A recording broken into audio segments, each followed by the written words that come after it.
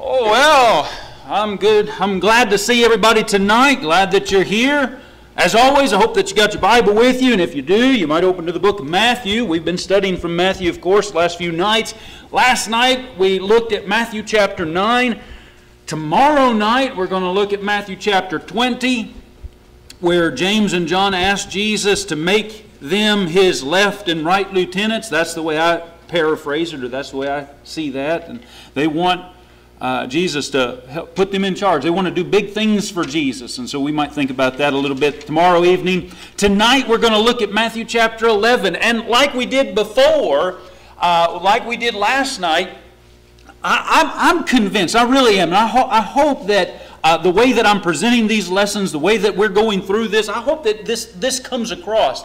That the power, the, the power that changes people's lives is not in the speaker, the power that changes people's life is, lives is in the gospel itself. It's in the message, it's in the message of Scripture. And if we just read through the Scripture, if we see what's being said by the authors of the Scriptures, I, I, I think that's, that's where the power is. And I think that that's our responsibility as speakers. That's our responsibility as Bible class teachers or, or as preachers or as, as shepherds of the church. Uh, it, it's simply to communicate, to stand behind the cross. That's an old saying, but, but stand behind the cross and, and just present the gospel to people, present the message of Scripture to people. I, I think that that will really change people's lives if we can do that. And, and I, I think of these as they're simple truths. Um, that doesn't mean that uh, that I saw them the first time that I read through them, and maybe you haven't seen them when you've read through these, and maybe you've read through these chapters many times before, and maybe some of these things you hadn't quite made these connections in the past. Well, I, I hadn't made these connections either, but then when you see them, it's almost like, well, I don't know how I missed it all these times. I think there's something like that in, in Matthew chapter 11. And so I'd like to walk through that chapter again with you tonight, and we're going to talk a little bit about John the Baptist. And so if you want to take your Bible and open to the book of Matthew once again, we're going to look at Matthew chapter 11, like I said. And I want to begin with a sort of a question for you. Matthew chapter 11, and there's a question that I want to begin with. Uh, of course, tonight's lesson is just entitled, What? Uh, th- this isn't what I expected. Have you ever have you ever had that feeling? Have you ever had the feeling that things just aren't working out the way that they were supposed to? And I know that there are lots of people in the scriptures that, that this happened with. Think about somebody like Abraham.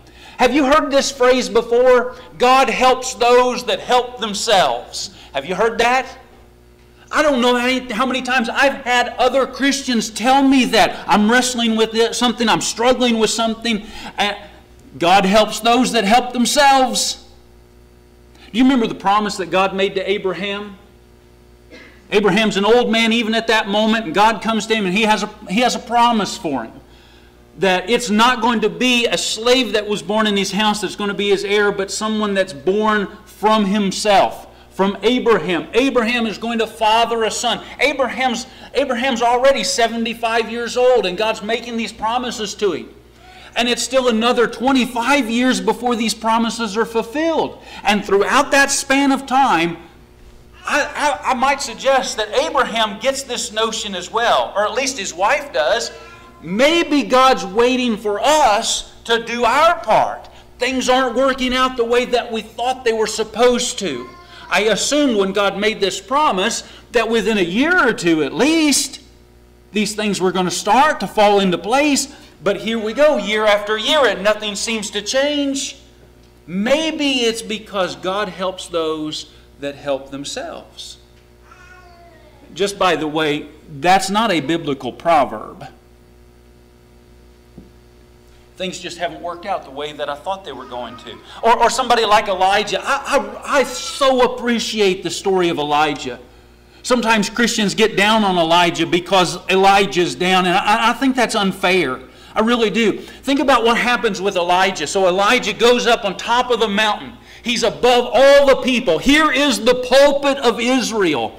And Elijah and the prophets of Baal are all on top of the mountain to determine who is the living God. And he'll answer by fire. And God does. God rains down fire and consumes not only the sacrifice, but the altar and laps up the water and the earth around it. Is there any question who is in charge in Israel. There's no doubt. There's no doubt. God answers. No one can deny it. And then just a chapter later, Elijah's in a cave and he's discouraged and he's depressed and he prays to God, God, just, just take my life too. There's no point for me to live. They've killed your prophets. I'm the only one that's left. And we get down on Elijah for feeling that way. Why does he feel that way when he's just succeeded? He's just had this great victory on top of the mountain in the sight of all the people. So, why is he now discouraged, deflated, dispirited? Because nothing changed. Nothing changed. Ahab and Jezebel are still in charge. Jezebel's still spouting threats, and she means to carry them out. That's why he's hiding. Nothing changed. God answered. Nobody could deny it. And yet, nothing really changed in Israel. Wouldn't you be discouraged? Wouldn't you be defeated? Wouldn't you feel just a little bit like there's really no point in carrying on when the greatest victory of your life is just washed away because nothing changed? It's just not worked out the way that I thought it was going to. When I was a little boy, some of you, if you think back, think back in your memory, what did you want to be when you were a little boy or a little girl? When I was just real small, uh, we lived just, I don't know, maybe a, a couple miles down the road from my grandpa and grandma, and grandpa would come down and he'd pick me up on the tractor and we'd go off and we'd, I'd, I'd ride the tractor. I suppose we we went and plowed fields together or harvested together. One of my favorite things to do was to climb up in the cab and sit there with Grandpa in the harvester. I, I dreamed that one day I was going to grow up and I was going to raise corn and cattle like my grandpa. I wanted to be able to farm with my grandpa. I'd buy my own little place, but we'd farm together, and that's just that's just what I was going to do. And uh, and then we moved away, and I didn't get to farm with Grandpa. But then I was convinced that I was going to join the Marine Corps because my dad was a Marine, and I was so proud of my dad, and I wanted to be like my dad, and so I was going to join the Marine Corps too. And Dad wasn't so fond of me joining the Marine Corps, and so that didn't get very far. I had all of these plans. Maybe you can imagine the plans or remember the plans that you had. Maybe plans that you had in high school and you just knew that your life was just going to it was just going to go in this straight direction, this upward trajectory, and it was just going to work out this way and, and you just had all of these goals and you just had this timeline and everything was just going to fall into place. How'd that work out? Didn't work out so well, did it? Now, I will admit this. I will admit this. The man that I am today, and I, I, believe that I'm not unique in this, I think everyone here probably can identify with this very feeling. The man that I am today, it is not anywhere near what I thought I was going to be. When I was 5, 10, 15, when I was 20, even when I was 25, the man that I am today, where I am in life, is not where I thought I was going to be. But but I'm not disappointed in where I am. Um, this is just a bit of an aside. Uh, I am thoroughly amazed now that I'm middle aged to look back and be able to see that even in my missteps and in many of the things that I have done foolishly, that God is still able to rework those things and make something good out of them. He can take all the mess that I have created and he can still he can still create something good out of it. I'm so thankful for him in that way. I think there's a lot of people that can identify with that. Is your life where you thought it was going to be? Have things worked out the way that you thought they were going to work out? I don't know. Some of you ladies out there, do you ever get on this this website? I don't. Is it a website or an app or whatever this thing is? This symbol. You ever been on there? Have you seen these kind of things on there? Maybe you save these kind of things. When you bake this stuff, you follow the recipe, right? Does it ever turn out that way? Does it ever look like that when you get done with it? If so, talk to me later. I'd like proof tomorrow. I'll tell you, all the you can follow you can follow the rules. I remember I, I, remember distinctly thinking this, not about making cookies, but, but I can distinctly remember this about things in life thinking, I followed all the rules. I did it all right. I did everything the way it was supposed to be done, and it didn't work out. Why didn't it work out? I'll share this little I'll share this little thing with you. Year, a couple years ago, my brothers and my dad, we all got on our motorcycles and we, we rode out west. And we, we passed through South Dakota and we, we, we rode out into Wyoming and around Colorado and we made some stops in Montana and Idaho and, and came back across Missouri and, and we left out the last day, we left out of Kansas City on the Kansas side. And I rode almost a thousand miles. I think I was like 40 miles short of being a thousand miles on the motorcycle that day. Uh, I was hurting pretty bad because we'd already done 4,000 miles in the last couple of days before that. So, but a thousand miles with nobody else to talk to but God, and I'm arguing with Him. I'm arguing with Him. I'm mad at Him. I don't understand why things are the way that they are. And, and I, I, can remember distinctly telling God, I thought, I, I, I asked you for bread and you've given me, I, I've asked for bread and you've given me rocks. You've given me rocks to eat. I've asked for fish and you've given me snakes. You know, the stuff from Matthew.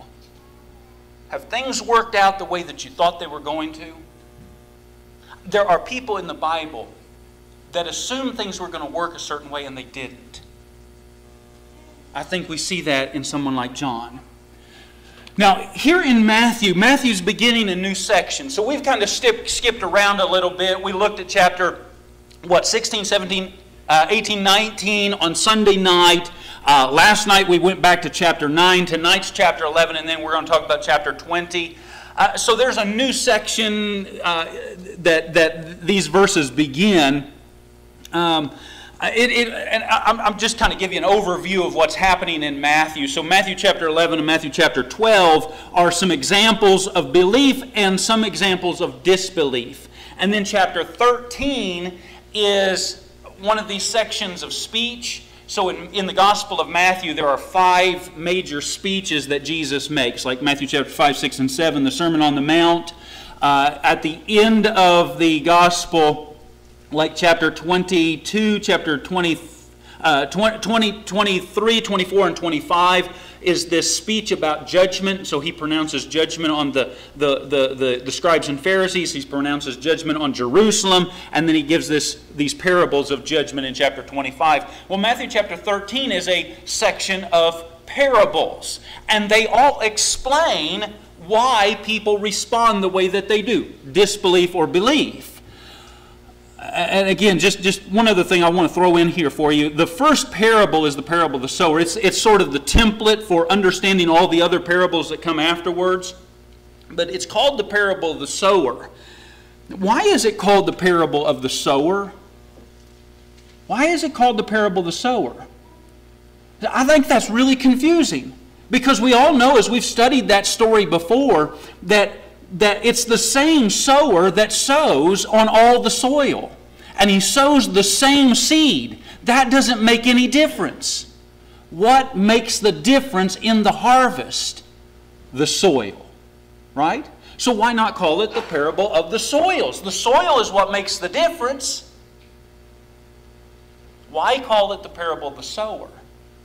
I, I, well, because the Bible calls it that, number one. But I think Jesus calls it the parable of the sower because it's meant, it's meant for people who go out and sow the seed.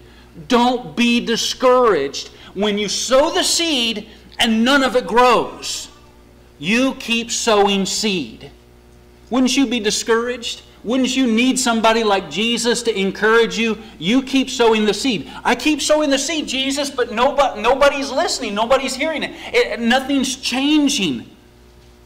If you sow the seed and you sow it and it falls on the wayside the entire your entire life, if you sow seed all your life and it only falls on the wayside, have you failed?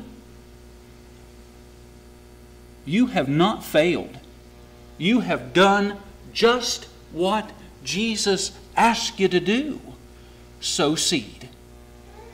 It's not your fault that it falls on the road. It's not your fault that it falls among the thorns or on the, gra- the, the rocky soil. Your job is just to sow the seed. Keep sowing seed, no matter if it grows or not. And so there's this parable to encourage people, even when the results are disbelief, keep sowing the seed. And then chapter 14, 15, and 16 is a second set of reactions that culminates in, in Peter's confession You are the Christ, the Son of the living God. So Matthew chapter 11 begins with John's question. Matthew chapter 11 and verse 2 and 3. If you want to read this with me, Matthew chapter 11, verse 2 and, th- and, verse 3. Now, when John, while he was imprisoned, heard, that, uh, heard of the works of Christ, he sent word by his disciples and said to him, Are you the expected one, or shall we look for someone else? So John asks a question. Now, now John knows Jesus really well, right? They're cousins. But more than that, John, the one who's asking this, are you the expected one? Are you the Christ? Are you our Messiah? Are you the Son of David? Are you the one we've been waiting for? Or should we look for somebody else? This same John, in this same gospel, in Matthew, back in chapter 3, says this Jesus arrived from Galilee at the Jordan, coming to John to be baptized by him. But John tried to prevent him, saying, I have need to be baptized by you, and do you come to me? And in John's Gospel, John chapter 1, I don't know if you can read this, but this is John chapter 1 and verse 29 through 34. The next day he saw, that's John, John saw Jesus coming to him and said, Behold the Lamb of God the one who's asking, Are you the expected one? is the same one who has said, This is the Lamb of God who takes away the sins of the world. This is he on behalf of whom I said, After me comes a man who has a higher rank than I, for he existed before me, and I didn't recognize him, but in order that he might be manifest to Israel, I came baptizing in water. And John bore witness, saying, I have beheld the Spirit descending as a dove out of heaven, and he remained upon him. And I didn't recognize him, but he who sent me to baptize in water said to me, He upon whom you see the Spirit descending and remain upon him, this is the one who baptizes with the Holy Spirit. And I have seen and I have borne witness that this is the Son of God. Now that's what John has professed. John says, I saw it, I heard it from the Lord, I know it, and I've preached it. That's what John's professed. Now, here in Matthew chapter 11, John's asking, Are you the expected one, or should we look for someone else? So, why the question? Now, some people think it's because John is sending his disciples so that they can hear Jesus proclaim it himself. Uh, if, that's how, if that's how you read this, walk through this with me, but I'm, I'm going to beg to disagree with you. I don't think that that's what's happening. Uh, I think what's happening is that John is beat down and John is discouraged. Notice that Jesus responds not to the disciples, but to John. Go tell John. This answer is for John. This question is John's question, sincere question. Are you really the expected one? Because I'll tell you what, Jesus, things aren't working out the way that I thought they were going to. Remember, John, John has likely been in prison for nearly a year at this point. He has languished in prison for nearly a year, and you know as well as I do that he's not getting out in one piece. things haven't worked out the way that John thought they were going to. I, I think John has doubts. Have you ever had doubts? Have you ever had doubts about your faith? What you were sure and convinced of? What you've told other people with, with as, as much with the, as much fervor and conviction as you could muster? Have you ever had doubts?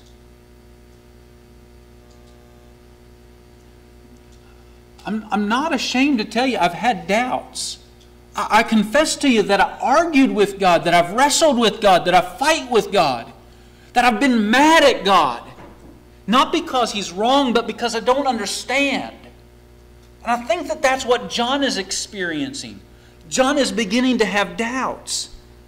Like I said, he's been languishing in prison since chapter 4. This has been nearly a year. And I think John is just seeing there, there must be some discrepancy between what he predicted and what he sees happening. He may be asking things like, why hasn't Jesus set me free? I mean, I am I'm his forerunner. I'm I'm the one that goes before and announces him. Why why why why, have I been forgotten here? Why hasn't he put the, the axe to the root of Herod's evil? That's what John preached out in the wilderness. Why hasn't he done that? Here I am in prison. It's been nearly a year, and Jesus is just wandering around town, doing miracles, feeding people. Here I am in prison. Why doesn't he do something about what's going on? Why, why was I forgotten? Have you ever felt like that? Have you ever felt like you've just been forgotten? You've just been tucked away in some corner someplace, forgotten? John's been tucked away in prison, and he's not going to get out of it. We know that. He doesn't even know that yet. We know that. It didn't work out the way John thought it was going to. And yet, John had served in such a special and such an important way. I don't know if any of you have used uh, Ken Chumbley's commentary on Matthew, but I've got a couple quotations here. The first one, uh, uh, again, it's Ken Chumbley's commentary on Matthew. And, and I just so appreciate what he says. He says, he says, when fortune is reversed and injustice reigns and righteousness is punished, it's normal to question the things surely believed. Oh, what a great quote that is.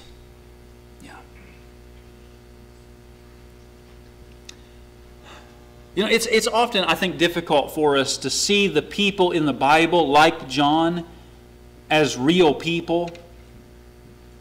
Uh, let me give you an example of what I'm talking about. We talked about Elijah just a moment ago. Uh, it's, it's interesting that James, in James chapter 5, he talks about prayer. The prayer of a righteous man can accomplish much. And he makes this one comment about, about Elijah when he says that he's a man with a nature like ours. I wonder, why does he say that about, about Elijah? He's a man with a nature like ours. Why, why would he say that? I, I think what he's saying there is he's not a superhero.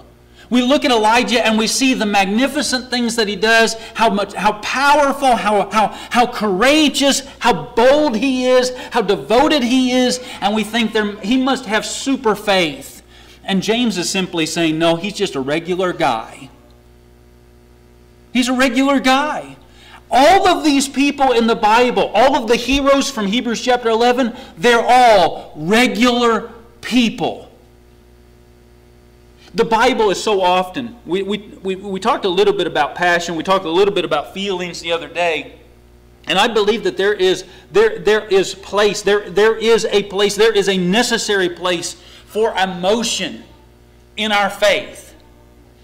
But so often we don't read about that because the Bible is often more interested in what people do and not how they feel. But that doesn't mean that they didn't feel all kinds of ways about what they did. Let me give you an example of what I'm talking about. Think about Abraham again.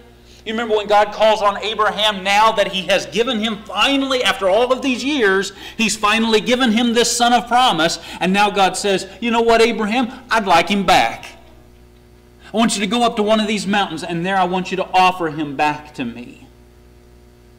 You think Abraham understands why? Do you think Abraham understands how this is going to work out? Now, you may remember, if you've studied through Genesis before, you may remember that, that Abraham, when he goes up to the mountain, he leaves the servants behind, and he says that the boy and, the, the, the boy and I will go up to worship, and we will return to you. There, there is faith in what Abraham is doing. I got him from the dead in the first place, and so even if God has to raise him from the dead this time, he'll come back with me. This is the son of promise. But I don't know how this is going to work out. But what do you think Abram told his wife? Now that story's not that, that story's not, not revealed to us. But don't you suppose that they had a conversation?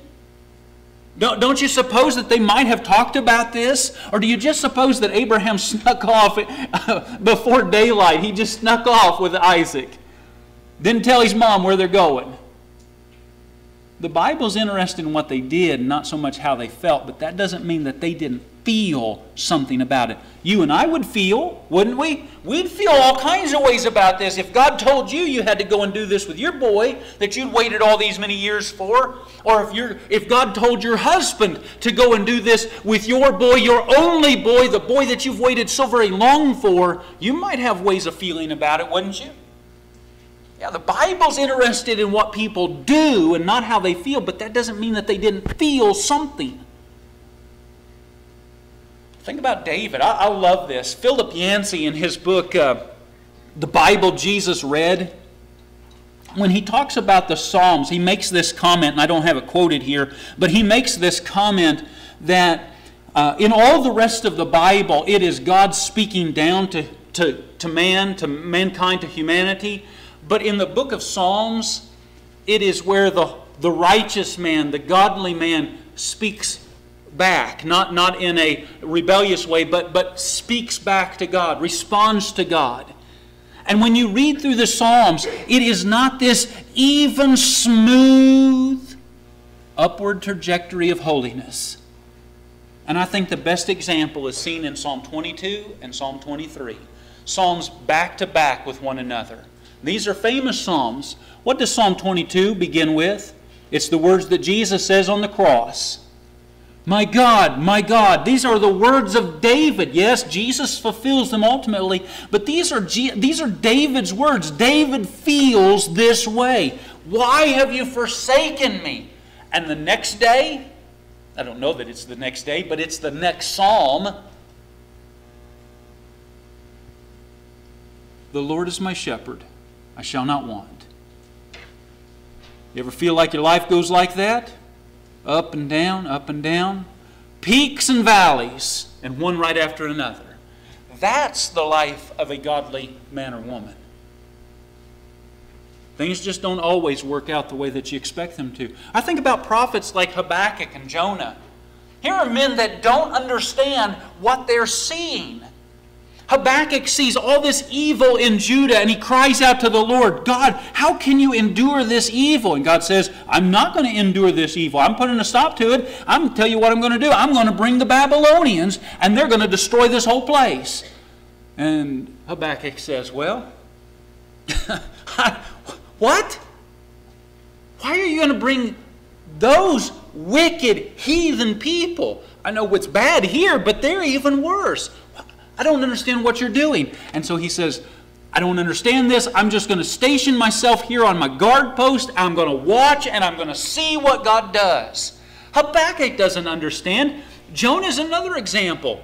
He doesn't understand. He goes and preaches to Nineveh. They repent. He knew that they were going to repent and then God was going to forgive them because that's what God does. But he doesn't understand why. And the story leaves off with him still pondering it. None of these people were demigods. These people were just regular people. I know that they're the heroes of the Bible story, but they're just regular people like us. They felt all kinds of ways about what God was calling on them to do and what they were seeing around them. But the Bible's interested in what they did and God's interested in what we're going to do in spite of how we feel. And so, what does Jesus do when John, doubting, asks, Are you the expected one, or should we look for someone else? What does he do? Look at the next few verses. What does he do? What is Jesus' response? Jesus calls him back to the Bible. When I don't know how I feel about what I'm seeing, when I don't know what to do about what's going on around me, when I don't understand why things are the way that they are, what do you do? Go back to the Scriptures. Matthew chapter 11, verse 4 and 5. Jesus answered and said to them, Go and report to John what you hear and see. The blind receive sight, the lame walk, the lepers are cleansed, and the deaf hear the uh, and the deaf hear. The dead are raised up, and the poor have the gospel preached to them. And he, and blessed is he who does not take offense at me. The prophets predicted all of the very things that Jesus is doing. And, and so Jesus is just simply telling John, go back, or uh, go back, remember what the Bible says. Just remember what the Bible says. Here's a couple different passages from the book of Isaiah. I like this verse. This, this verse is from the New Testament. This is Second Corinthians. It's, it's, almost, it's almost like a, well, in, in my text, it's a parenthetical clause. It's, it's surrounded by parentheses. 2 Corinthians chapter 5 and verse 7. For we walk by faith, not by sight. Things don't look like they ought to. Things aren't working out the way that I thought they were going to. What do you do when you have all kinds of doubts? We walk by faith, not by sight. And faith comes by hearing, and hearing by the Word of God. Go back to the Bible. That's what John, Jesus tells John to do. And so then Jesus gives a quick warning about that response. And we read this, verse 6 Blessed is he who does not take offense at me. I think the offense is that it do, Jesus doesn't look like what we thought he was going to look. He doesn't do what we thought he was going to do. I think that's where John is, and sometimes that's where we are. What we think it's going to be like when we become a Christian, the way we think our life is going to go, doesn't always go that way. And so Jesus offers this warning don't take offense at me, don't stumble over me. Here's another quote from Chumbley from the commentary I mentioned a moment ago. The blessing is to the man who doesn't abandon Christ when he does not, when Christ does not meet our expectations. Absolutely. Somebody says, but a, God, a good God would not take my loved one from me. Have you felt like that? Have you felt like that? I confess to you freely today, I have felt like that. I confess and openly today, I have felt like that. Deep down in my heart, I have felt like that. I know, I know better. I know in my head, I know better than this, but I feel it. A good God wouldn't have taken them from me. Or have you heard something like this? God wants me to be happy. Doesn't God want me to be happy? I remember being in high school. I was so interested in this one girl. I went down, visited the church where I knew she worshiped, and I tried to talk to her, and she wouldn't talk to me. And she just, of course, she just wanted to be friends. You know, you know how that goes, right? And uh, I went and talked to the preacher afterwards, and I said, "Oh man, I just, you know." Said something like this eventually. I said, oh, Doesn't God want me to be happy? And you know what his response to me was? There was no compassion in his words. you know what his response was? No. Does God want me? God doesn't God want me to be happy? No. He wants you to be holy. That's what he said. Have you heard words like this from yourself or from other people? Now, if we read on in the book of Matthew, in Matthew chapter 11, some do take offense at Jesus. They stumble over him when he doesn't meet their expectations. He's doing what he ought to do, Don't misunderstand me. He's doing what Jesus ought to do. But he's not meeting what I expected him to do. The problem is my expectations. The problem is my assumptions.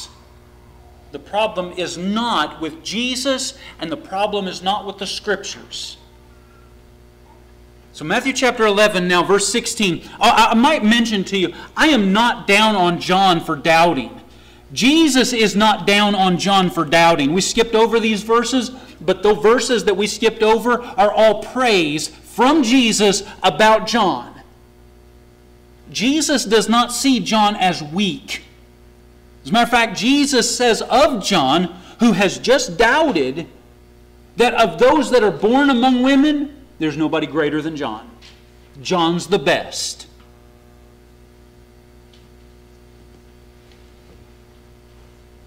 Verse 16. What shall I compare this generation to? It's like children sitting in the marketplaces who call out to other children and say, We played the flute for you, and, and you did not dance. We sang a dirge, and you did not mourn. For John came neither eating nor drinking, and they say he has a demon. The Son of Man came eating and drinking, and they say, Behold, a gluttonous man, and a drunkard, a friend of tax collectors and sinners. Yet wisdom is vindicated by her friends. When you were a kid, did you ever play wedding or funeral? I can remember when I was over at my grandpa's house one time, me and my cousins, we all found this dead mouse out in the field. Found this dead mouse. We got a box together. We didn't know anything about this mouse except it was dead. We, got this box together and uh, we had this big ceremony for it, just like this had been some chieftain of our tribe. And, and, and we, we, we, we, we buried this mouse, and I, I don't know, we might have even had like a 21 BB gun salute to send him off, you know, in fashion. Did you ever play wedding or funeral? Did you ever play games when you were a kid? Well, of course you did. Of course. That's what Jesus is talking about. He's talking about children's games. And what happens in children's games? There's one child that just doesn't want to play. If I don't get my way, we're not playing. If you don't play by my rules, then I'll take my ball and I'll go home. You want to play wedding? No, I want to play funeral. Okay, let's play funeral. I don't want to play funeral anymore. That's what's going on here. And isn't it just that silly? Isn't it just that silly? Now, tell me. Tell me and be on well, don't tell me. Just think about this and be honest with yourself. Are we adults anything more than just big kids? Don't we sometimes do that very thing? That's what Jesus is accusing adults of being like. If it can't be your way, you don't want to play.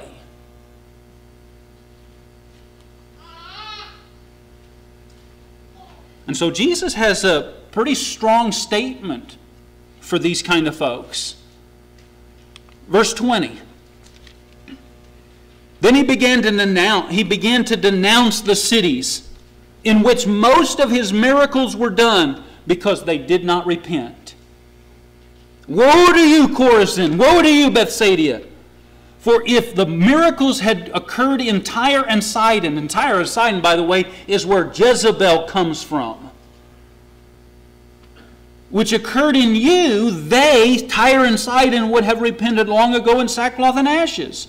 Nevertheless, I say to you, it will be more tolerable for Tyre and Sidon in the day of judgment than for you. And you, Capernaum, will you be exalted to heaven?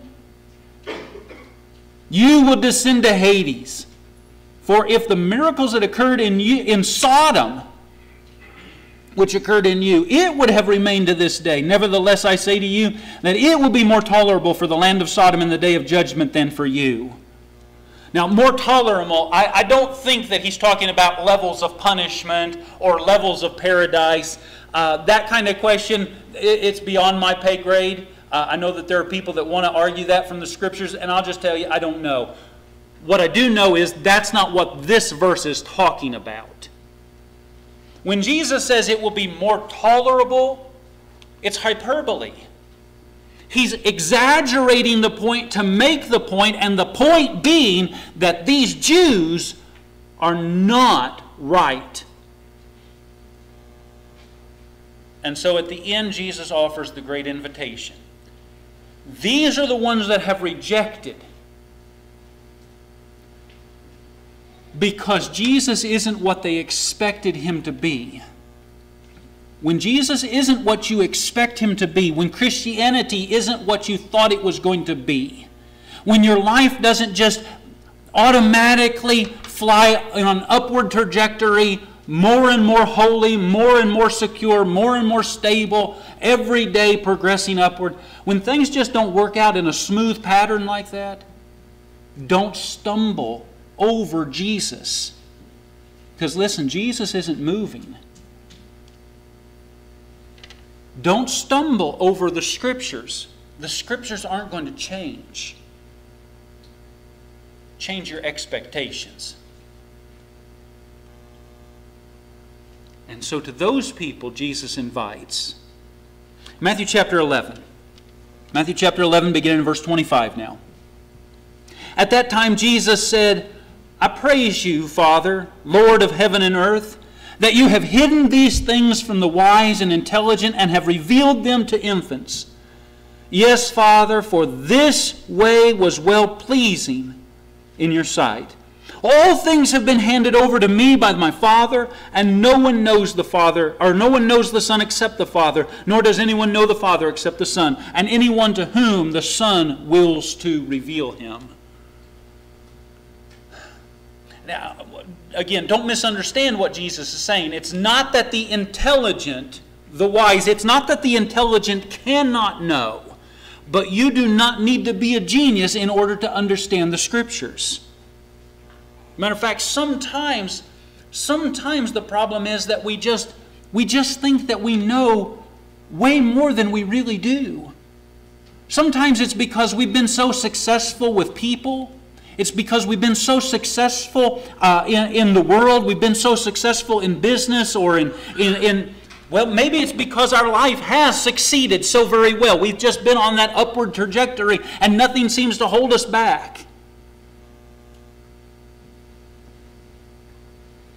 And so we can't get on board with the things that Jesus talks about, especially that stuff about the last shall be first and the first shall be last, that kind of backwards thinking. Well, it's backwards to the world, at least. It's not that the intelligent cannot know, but you don't have to be a genius to understand the truth.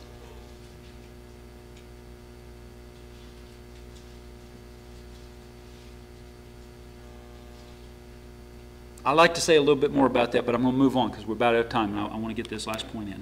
Verse 28. Verse 28 Come to me. Jesus, here, here it is. Here's the great invitation. Come to me, all who are weary and heavy laden, and I'll give you rest. Take my yoke upon you and learn from me, for I'm gentle and humble in heart, and you shall find rest for your souls. For my yoke is easy and my burden is light.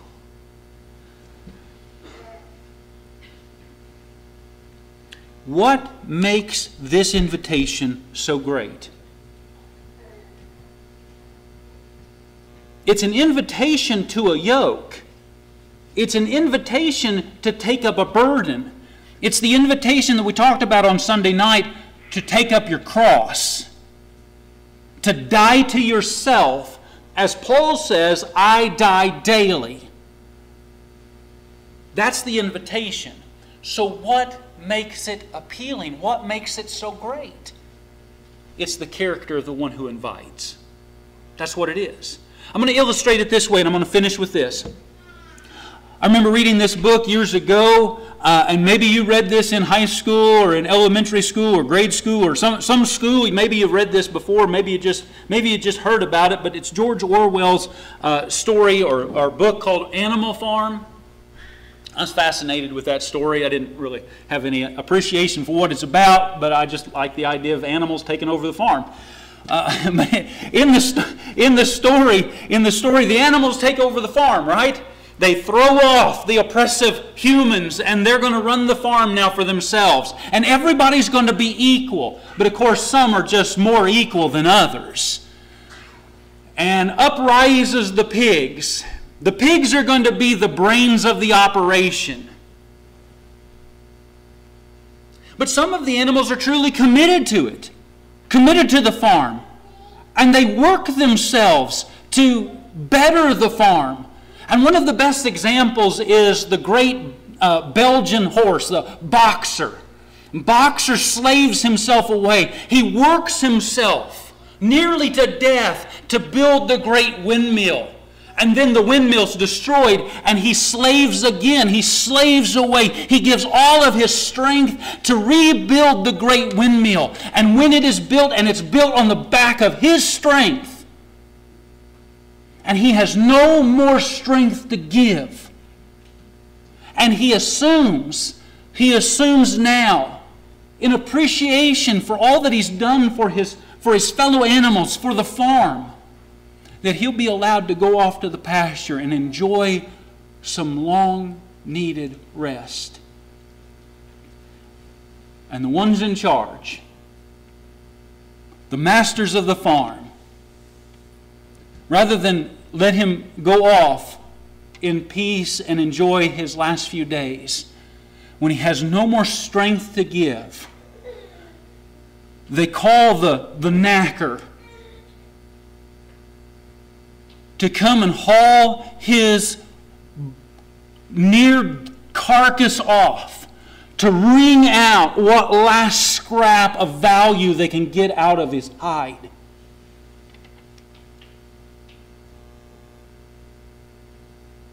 Aren't you glad that you serve the lamb and not the hogs? For I am gentle and humble in heart. That is what makes it a great invitation. And that's the invitation that's open to you tonight. Come, repent of your sins, confess this Jesus, this Lamb of God, as King of your life, and follow him wherever wherever He leads. Be baptized tonight for the forgiveness of those sins. Come while we stand and sing.